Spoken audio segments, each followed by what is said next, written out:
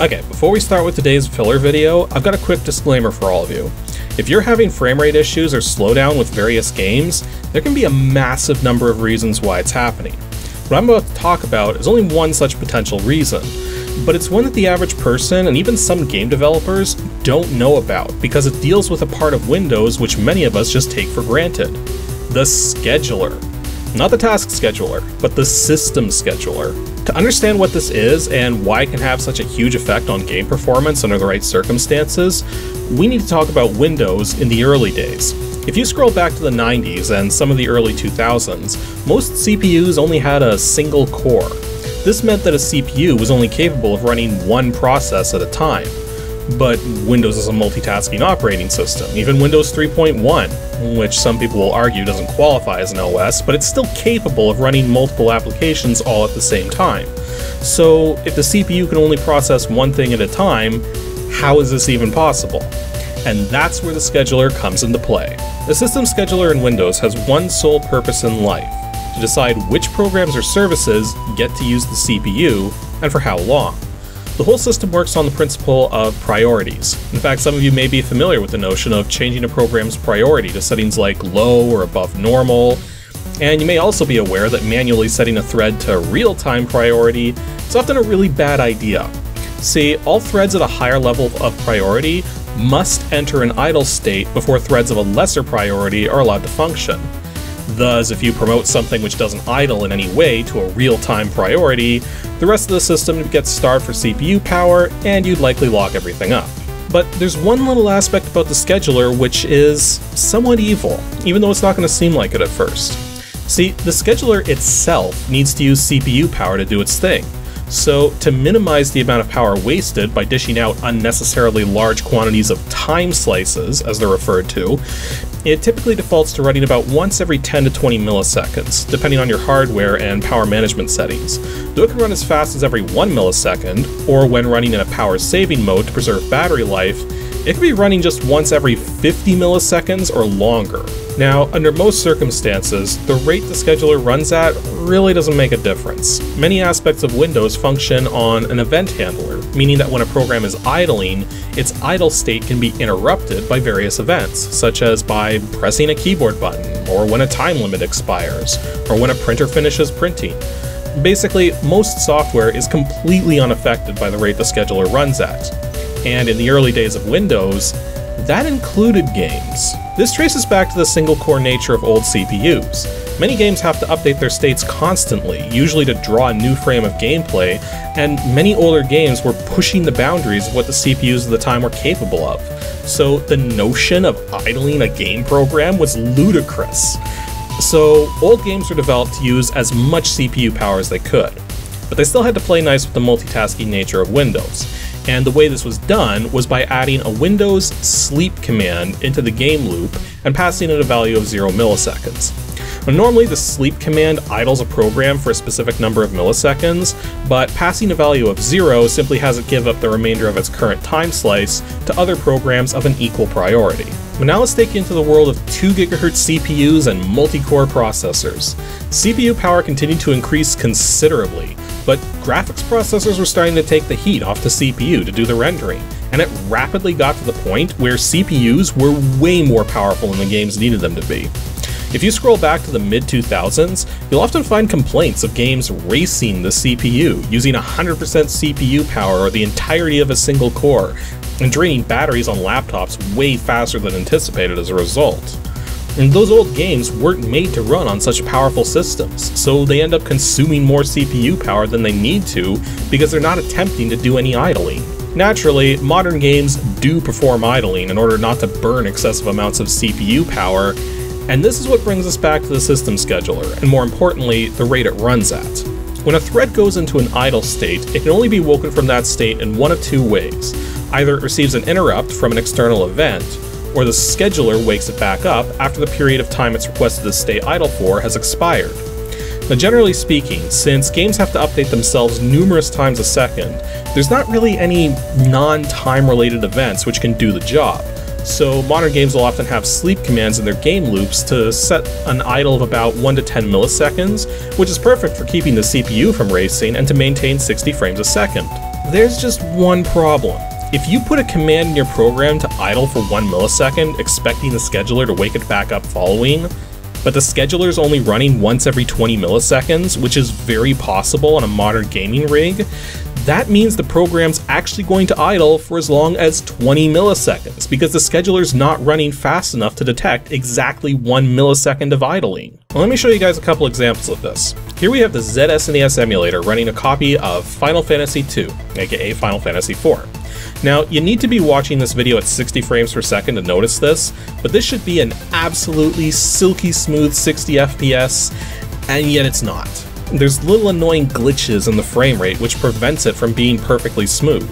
Now, this is because ZSNES is trying to idle itself when it doesn't need the CPU power, but because of the rate the scheduler typically runs at on my system, it's routinely idling for just barely longer than a single frame, thus causing it to jitter. Here's a far more noticeable example in the indie game Zotrix. Now I've put two examples side by side. The one on the right is how the opening sequence of this game is supposed to run. However, the game speed is tied in with the frame rate, as often happens with a lot of games since it's easier to write logic and rendering intermixed with each other rather than to separate them. In any case, the telling thing about this intro sequence is it has a countdown timer which is based on the system timer up in the top corner. So no matter how slow this intro runs, the timer up top counts down at the proper rate. And when the scheduler is set to run faster than default, the sequence completes normally. But at the default scheduler rate on my computer, as shown on the left, it actually goes for way longer than it's supposed to. Now, since I'm showing side-by-side -side footage from the same computer, clearly it's possible to fix this, and you guys will be very surprised how simple it is. All you have to do is run a program in the background which alters the scheduler rate. And see, because the system scheduler is responsible for handling everything to do with multitasking, it can't really run at two rates at the same time. So instead, programs are able to make a call to a function called time begin period. And what this does is feed a new timing rate to the scheduler. If the rate input is faster than the fastest rate currently set, it'll speed up to run at the new speed. Now, programs which alter this are also required to make an equivalent call to time end period when they're done so that the new rate that they input can be removed from the scheduler, which will then go back to whatever the previous fastest rate was. You may have also noticed that this footage was captured by pointing my camcorder at my monitor. Well, that's because I normally use Open Broadcaster to capture game footage, and wouldn't you know it, OBS happens to be one of the programs which sets a faster scheduler rate. It doesn't have to be doing anything, all you have to do is run OBS and you're set the faster scheduler rate will be implemented and problems related to programs idling more than they should will be gone. Now, having OBS running in the background was the only difference between these two captures of game footage. In fact, here's ZSNES with OBS running in the background. Now it does glitch out a little at the start because CPU time can still be temporarily pulled away by higher priority threads, but this is running a lot smoother than it was a moment ago. Now some of you might be asking, well why not just always run the scheduler at a high refresh rate? And the answer comes back around to the fact that the scheduler itself uses CPU power. Well, even though it's not much, it will make a difference in terms of things like laptop battery life so running the scheduler at a high rate all the time isn't necessarily a good thing. This is why it's best for games to set new rates themselves, do their gameplay stuff, and then go back to a previous rate following. But again, you'd be surprised how many people, including programmers, are unaware of this aspect of how Windows works. For instance, GameMaker. Now, I can't speak to the latest versions of GameMaker, but versions as recent as the one used to make Undertale fail to set a higher rate which means running the majority of games made with GameMaker at 60 FPS on a Windows system can result in jittery frame rates for some people, unless you run something else in the background like OBS, which will set a higher scheduler rate. Although funnily enough, there is one other potential solution which doesn't require changing the scheduler rate, but it requires the game not to do any idling on its own accord when this is set up. And that solution is vertical retrace synchronization, often referred to as VSync. Since the mid 2000s, most graphics cards do what's referred to as a non busy vertical sync. This means that when a game puts in a request to the GPU for a VSync, the game's actually going to go into an idle state, with a very specific interrupt set, that interrupt being the vertical retrace signal coming back from the graphics card.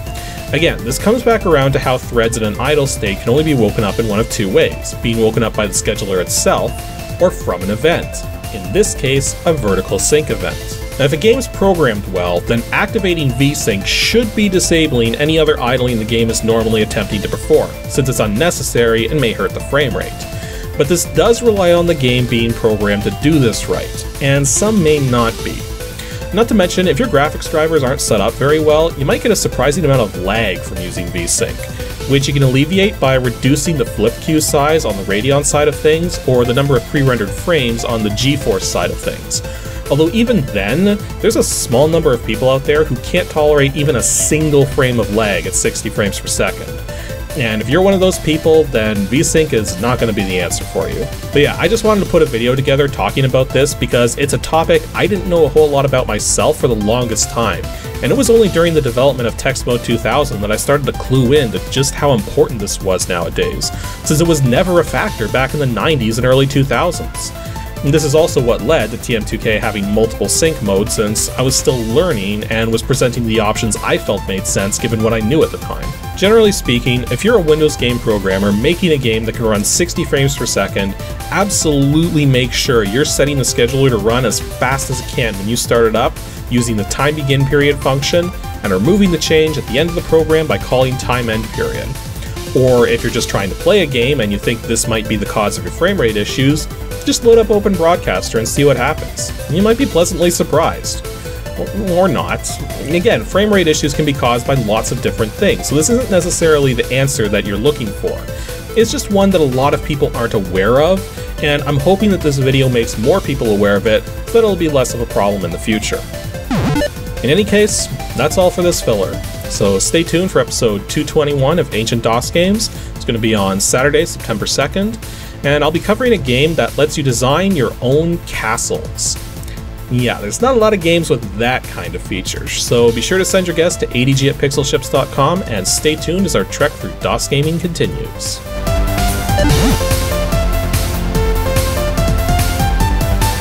Thanks for watching, everyone, and special thanks to those of you supporting me on Patreon. Here's just a small sample of you guys.